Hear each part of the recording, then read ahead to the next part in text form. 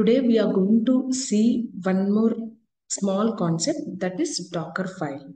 So what is Docker file? Docker file is nothing but it's a kind of plain text file. Okay, so we can keep some Docker instructions in this Docker file. We can keep any number of Docker instructions in this Docker file. And once if you execute this Docker file, we can create Docker image. Okay, so here I want to create Docker image called Swhizz image and I want to create container out of this Docker image. Okay, so today we are going to see all these things step by step with hands-on. So I'm ready with my Docker file. Once if I execute this Docker file, I will build the Docker image and then I will create container. Okay, let's proceed. So here I'm ready with my console. I have installed Docker here. If you want to see whether Docker is installed or not, you just type Docker hyphen hyphen version. Hmm. Docker version. So Docker is installed. Now, if you want to see the Docker images, command is Docker images. I have some images here. So if you want to see Docker containers, command is docker ps hyphen a will shows all containers. These are containers which I'm already having with me. So what I want, do ls, I'm ready with my Docker file also. This is the Docker file. Okay, let me open this Docker file. Inside this Docker file, I have some instructions. What I will do, okay, I have these many instructions here. So what I will do, I will not keep all these instructions. Let me delete these instructions. Let us keep some small instructions in this Docker file. Okay, let us try to learn slowly. Fine. So I kept some small two instructions that is from Ubuntu. Okay, and then I'm executing some small instruction, run instruction. That is, I want to execute one Linux command in this instruction. So I want to execute this command and after executing this, I want to redirect this output into this demo file.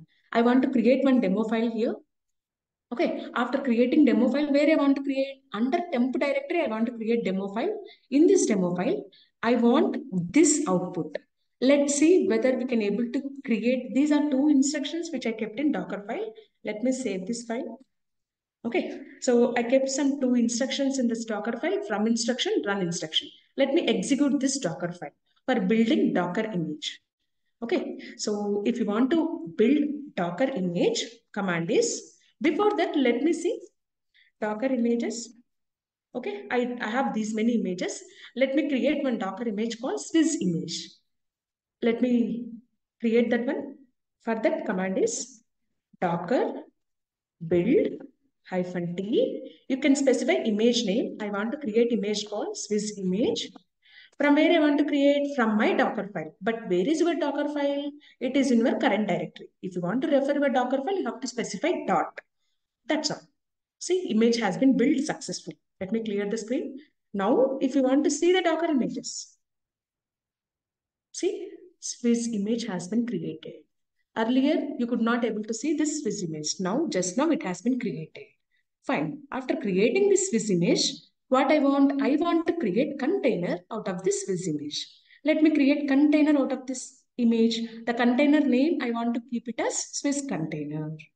So let me create container out of this Swhizz image. For that command is docker run hyphen it hyphen hyphen name. The container name is Swhizz container from which image? Swhizz image.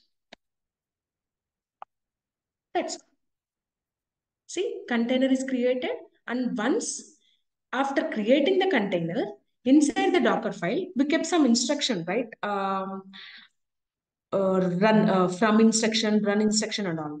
Inside the container, you can able to see all these instructions, whether these are present or not. So let me verify which OS it is using. If you want to verify OS, then command is cat etc os hyphen release. See, you can able to see Ubuntu OS we have used because base image we have used as Ubuntu image in Docker file. Fine, we have created one file, right? What is that file? We have created one demo file under temp directory and then we have kept some content in the demo file, right? So go to do ls here, go to this temp directory here. do ls, you can able to see demo file. Just open this demo file here. Cat, using cat command you can open. See, this is the content which we have kept in Docker file. So here, just for understanding, I kept some small content, but in real time, we are going to keep our application images. Okay, we are going to keep our application. This is the way how we can build an image using Docker file and how we can create a container using Docker image. Thank you everyone. Thanks for watching. Don't forget to like this channel, subscribe this channel and share this channel. Thanks once again. Thank you all.